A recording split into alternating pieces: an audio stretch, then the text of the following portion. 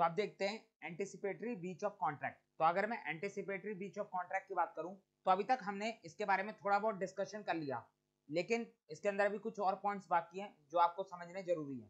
तो यहाँ पर क्या बोला गया है? Anticipatory breach of contract occurs when a party before the time for performance is due, announce that he is not going to perform the contract. तो वही बात बोली है जो अभी तक हम पढ़ के आ चुके हैं कि जब कभी भी कोई पार्टी परफॉर्मेंस ड्यू होने से पहले ही अनाउंस कर देती है, बता देती है सामने वाली पार्टी को कि वो अपनी परफॉर्मेंस को परफॉर्म नहीं कर पाएगी। तो ये तो हमने देख लिया था, ये हमारा एंटीसिपेटरी बीच ऑफ़ कॉन्ट्रैक्ट है।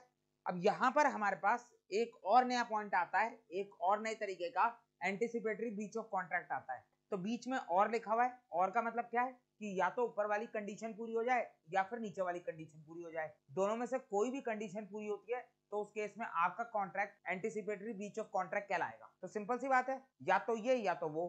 तो सेकंड पॉइंट क्या कह रहा है? When a party by its own act disable himself from performing the contract तो यहाँ पर क्या बोला जा रहा है? कि अगर कोई पार्टी खुद से कोई ऐसा एक्ट कर दे, खुद से कोई ऐसा काम कर दे, जिससे वो डिसेबल हो जाए, वो खुद को डिसेबल कर रही है फ्रॉम परफॉर्मिंग द कॉन्ट्रैक्ट तो क्या मतलब है इसका? अभी इसको एग्ज़ाम्पल से समझेंगे। उससे पहले यहाँ पर देखो एंटीसिपेटरी बीच ऑफ़ कॉन्ट्रैक्ट में भी एक्सप्रेस और implied anticipatory breach of contract हमारा एक्सप्रेस भी हो सकता है इम्प्लाइड भी हो सकता है।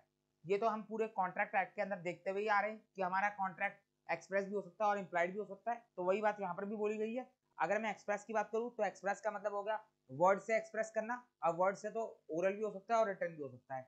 वहीं अगर मैं इम्प्लॉयड की बात करूँ तो पार्टी ने कुछ ऐसा काम करा, कुछ ऐसा कंडक्ट करा, जिससे हमारा कॉन्ट्रैक्ट ब्रीच हो रहा है। तो एंटीसिपेटरी ब्रीच हमारा एक्सप्रेस भी हो सकता है और इम्प्लॉयड भी हो सकता है। अब देखो, ऊपर जो हमें दो पॉइंट दिए थे, इसमें से पहला पॉइंट हमारा एक्सप्रेस ब्रीच ऑफ़ कॉन्ट्रैक्ट का है। वहीं अगर मैं दूसरे पॉइंट की बात करूँ तो वो हमारा इम्प्लाइड ब्रीच ऑफ़ कॉन्ट्रैक्ट का है। मैंने आपको क्या बोला? एक्सप्रेस का मतलब होगा कि पार्टी ने सामने से खुद ही बता दिया वर्ड्स के थ्रू बता दिया, चाहे वो ओरल हो, चाहे रिटर्न हो, कि मैं इस परफॉर्मेंस को परफॉर्म नहीं कर सकता। वहीं अगर मैं इम्प्लाइड की बात करूँ तो इम्प्लाइड के केस में क्या होता है? पार्टी कुछ ऐसा एक्ट करेगी, कुछ ऐसा कंडक्ट करेगी, जिससे पार्टी खुद को डिसेबल कर रही है फ्रॉम परफॉर्मिंग द कॉन्ट्रैक्ट तो जो सेकंड पॉइंट है, वो हमारा इम्प्लाइड वाला है, जबकि जो हमारा फ़र्स्ट पॉइंट है, वो हमारा एक्सप्रेस वाला है।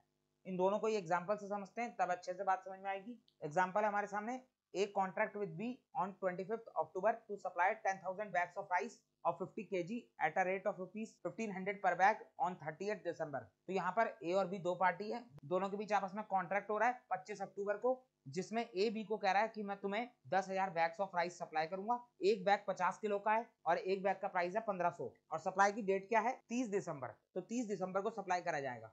जबकि कॉन्ट्रैक्ट कब करा गया? है पच्चीस अक्टूबर को। तो हम 30 दिसंबर को ड्यू डेट बोल सकते हैं, क्योंकि परफॉर्मेंस की डेट है ये, इसी दिन परफॉर्मेंस करनी है। अब देखो यहाँ पर क्या हो रहा है? On first November A inform B that he will not able to supply the rice तो एक नवंबर को ए ने बी को इन्फॉर्म करा और बोला कि मैं तुम्हें राइस सप्लाई नहीं कर पाऊँगा। ए ने जो है ड्यू डेट से पहले ही एक नवंबर को बी को बोल दिया बी को अनाउंस कर दिया कि मैं अब ये परफॉर्मेंस परफॉर्म नहीं कर पाऊँगा। तो ये हमारा पहला केस बनता है। यहाँ पर ए ने जो है एंटिसिपेटरी बीच कर दिया और ये एक्सप्रेस वाला एंटिसिपेटरी बीच है। ऊपर देखो साफ़ साफ़ पहले पॉइंट में बोल दिया गया था when a party before the time for performance is due announce that that he is not going to perform the contract यहाँ पर ड्यू डेट आने से पहले पहले पार्टी साफ़ साफ़ अनाउंस कर रही है कि वो अब परफॉर्मेंस को परफॉर्म नहीं कर पाएगी। यही बात यहाँ पर हमारा ये एग्ज़ाम्पल भी कह रहा है। तो समझ में आ गई आपको बात? अब जरा एक बार इम्प्लाइड ब्रीच ऑफ़ कॉन्ट्रैक्ट को भी देख लेते हैं। तो हमारा अगला एग्जांपल है।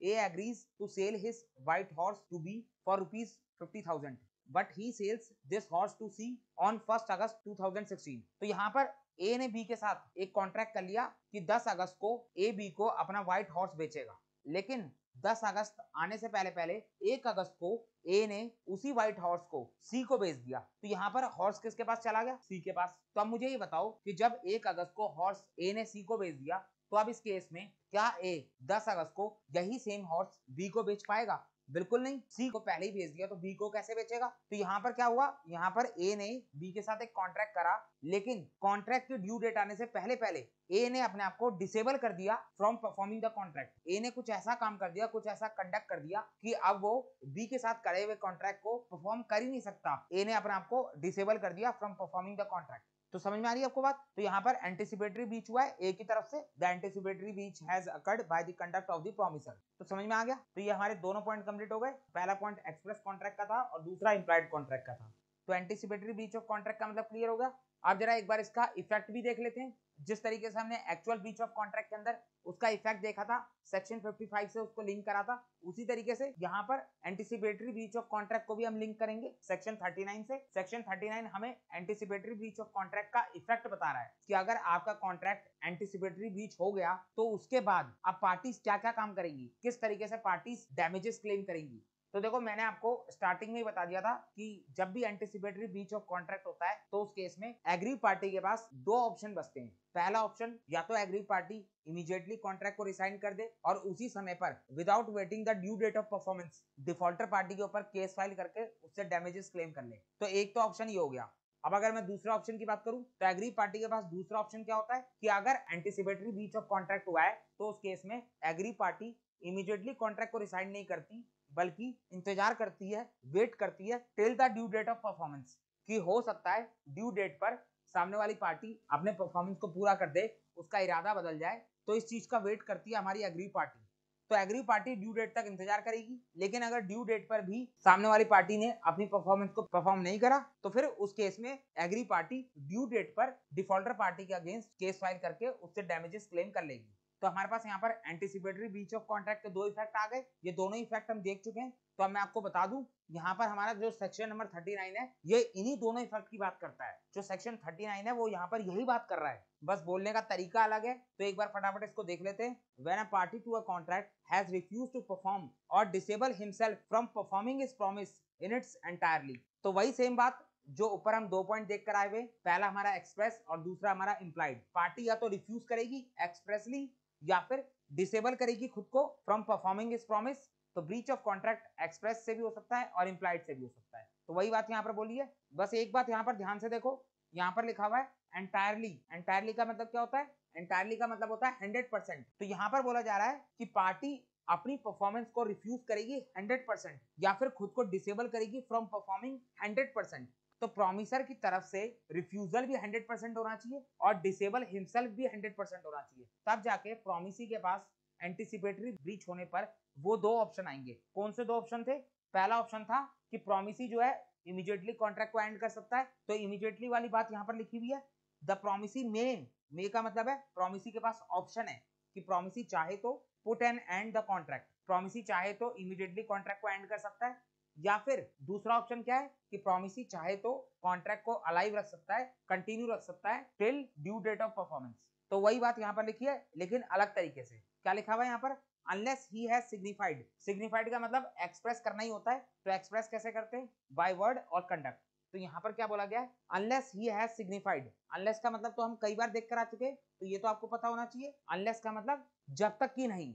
तो अभी अनलेस को छोड़ो, उसके आगे पढ़ो, क्या लिखा हुआ है? He has signified by word और कंडक्ट ही का मतलब है यहाँ पर प्रोमिसी प्रोमिसी सिग्निफाइड करेगा प्रोमिसी एक्सप्रेस करेगा अपने वर्ड से, अपने कंडक्ट से। क्या एक्सप्रेस करेगा? His acquiescence in its continuance acquiescence का मतलब होता है कंसेंट तो यहाँ पर प्रोमिसी जो है एक्सप्रेस करेगा अपनी कंसेंट किस चीज़ को लेकर कंसेंट देनी है? कंटिन्यूएंस को लेकर कंसेंट देनी है। कंटिन्यूस का मतलब हो गया कि प्रोमिसी जो है कॉन्ट्रैक्ट को कंटिन्यू रखना चाहता है। कॉन्ट्रैक्ट ड्यू डेट से पहले ब्रीच हो चुका है, लेकिन प्रोमिसी इस कॉन्ट्रैक्ट को अलाइव रखना चाहता है कंटिन्यू रखना चाहता है, और वो उस कंटिन्यूएंस की कंसेंट दे रहा है। तो ये हमारा सेकंड ऑप्शन है, जो हमने देखा था। तो यहाँ पर इसको बोला किस तरीके से गया अनलेस ही हैज़ सिग्निफाइड ऊपर वाली बात तब तक लागू होगी जब तक वो नीचे वाली बात ना कर दे। अगर उसने नीचे सिग्निफाइड कर दिया, उसने अपनी मंजूरी दे दी कॉन्ट्रैक्ट को अलाइव रखने की तो इसका मतलब है कि ऊपर वाली बात अब मानी नहीं जाएगी। ऊपर क्या लिखा हुआ है कि प्रोमिसी अपने कॉन्ट्रैक्ट को एंड कर सकता है इमीडिएटली तो या तो प्रोमिसी अपने कॉन्ट्रैक्ट को इमीडिएटली एंड कर दे, लेकिन ये एंड करने वाला ऑप्शन तभी मिलेगा जब तक कि प्रोमिसी अपनी कंसेंट ना दे दे कॉन्ट्रैक्ट के कंटिन्यूएंस को लेकर। एक बार अगर प्रोमिसी ने कॉन्ट्रैक्ट के कंटिन्यूएंस को लेकर अपनी कंसेंट दे दी तो उसके बाद फिर दोबारा प्रोमिसी के पास ये ऑप्शन नहीं बचेगा कि प्रोमिसी कॉन्ट्रैक्ट को खत्म कर सके। तो यहाँ पर बात उसी दो ऑप्शन की हो रही है। पहला ऑप्शन बोलता है कि कॉन्ट्रैक्ट को इमीडिएटली एंड कर दो। दूसरा ऑप्शन बोलता है कि अगर एक बार सेकंड ऑप्शन सिलेक्ट कर दिया कॉन्ट्रैक्ट को कंटिन्यू करने के लिए अपनी कंसेंट दे दी तो उसके बाद आप दोबारा पहले ऑप्शन पे नहीं जा सकते। इसको हम एक एग्जांपल से देखेंगे, तब जाके बात अच्छे से समझ में आएगी। और मैं आपको एक बात बता दूँ सेक्शन नंबर 39 हम पहले भी पढ़ चुके हैं। मैंने आपको chapter number 10 performance of contract के अंदर ये वाला सेक्शन पढ़ाया हुआ है। तो यहाँ पर एक बार इसका एग्ज़ाम्पल देख लेते हैं।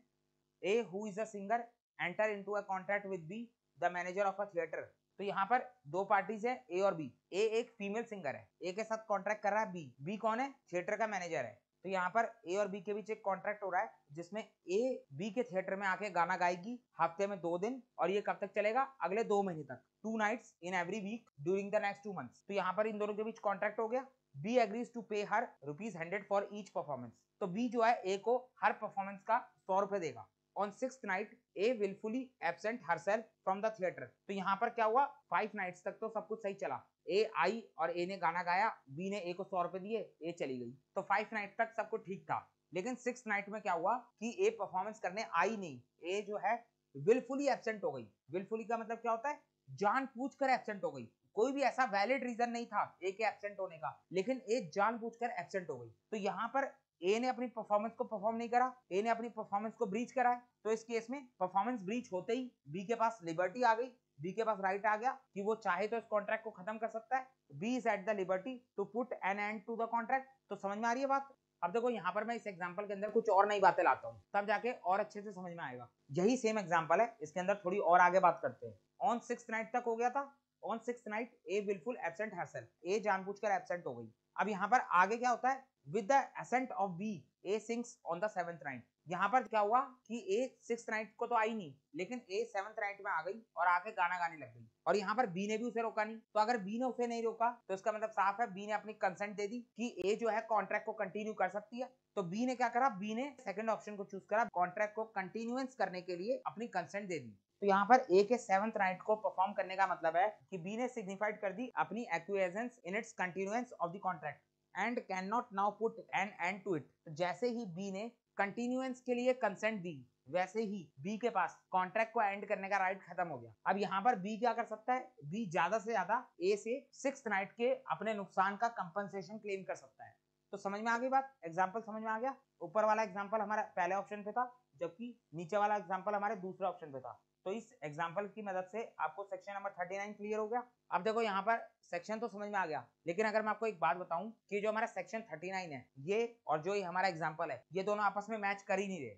तो मैच नहीं कर रहे तो मैंने समझा कैसे दिया? तो ध्यान से देखो सेक्शन नंबर 39 के अंदर एक वर्ड लिखा हुआ है, जो कि है एंटायरली एंटायरली का मतलब होता है हंड्रेड परसेंट प्रोमिसर जब हंड्रेड परसेंट परफॉर्मेंस को रिफ्यूज करेगा या फिर हंड्रेड परसेंट डिसेबल करेगा, तभी जाके प्रोमिसी के पास ये दो ऑप्शन आते हैं। जबकि हमारे इस एग्ज़ाम्पल के अंदर ए ने पार्शल परफॉर्मेंस तो कर दी ए ने फाइव नाइट्स के अंदर तो परफॉर्म कर दिया, आधा काम तो ए कर चुकी है तो यहाँ पर एंटायरली वाली बात तो आती ही नहीं है। तो ये एग्ज़ाम्पल हमारे सेक्शन 39 का कैसे हो सकता है? तो बिल्कुल सही बात है सेक्शन 39 का ये एग्ज़ाम्पल नहीं हो सकता। लेकिन आपको ज़्यादातर बुक्स के अंदर, या मैं कहूँ 99 परसेंट बुक्स के अंदर, आपको यही एग्ज़ाम्पल मिलेगा सेक्शन नंबर 39 को लेकर। तो बुक्स के अंदर दे रखा है तो मेरा काम था आपको पढ़ाना।